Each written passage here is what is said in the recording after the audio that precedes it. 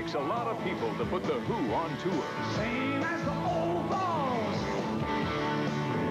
And it took a great beer like Schlitz to bring The Who to America.